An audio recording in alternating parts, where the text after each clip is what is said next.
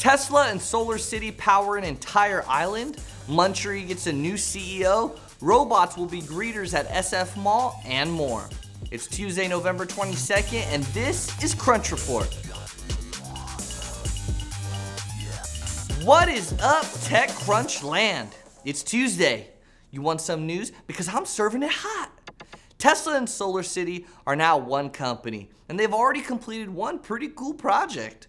The small island of Ta'u in American Samoa used to get its power from burning fossil fuels like a diesel generator. Now, thanks to both companies, it powers its entire grid using solar power.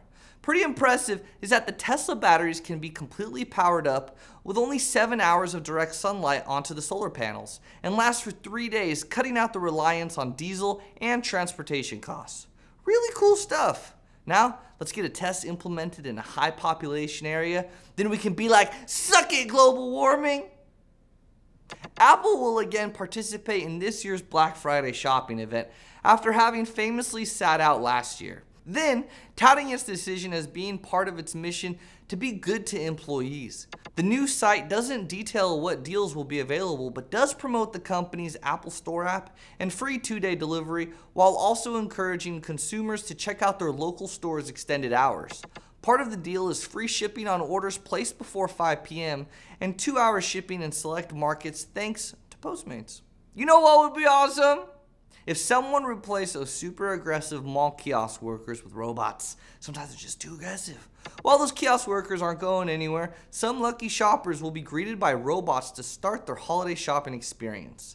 Shoppers at Westfield's San Francisco Center or Westfield's Valley Fair in the Bay Area will be able to play games and take selfies with SoftBank's Pepper Robot, proving that even expensive electronics aren't exempt from the doom of underemployment. By December, Pepper will be allowed to direct shoppers to stores and restaurants.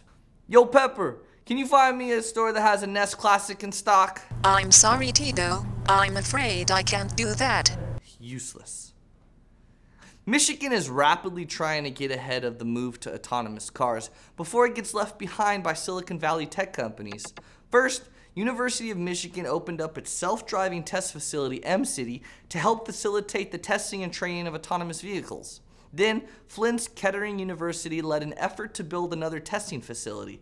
Today, workers broke ground on the American Center for Mobility, a 335-acre testing facility located at Ford Motor Company's Willow Run facility. Computer vision is a far cry from the World War II aircraft manufacturing the plant is known for, but it turns out that the facility size is incredibly useful when you're trying to build a fake city from scratch. Uniquely, the new center is set to bring together researchers, product developers, and educators to help set standards for a future without human drivers.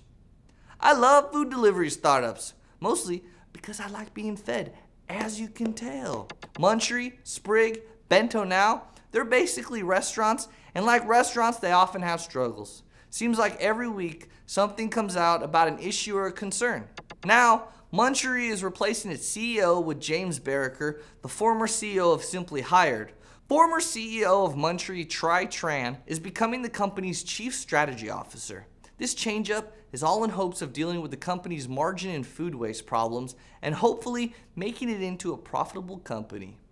That's the report for today. I'm Tito Hamze. Crunch Report airs every weekday at 7 p.m. Eastern, 4 p.m. Pacific on TechCrunch.com.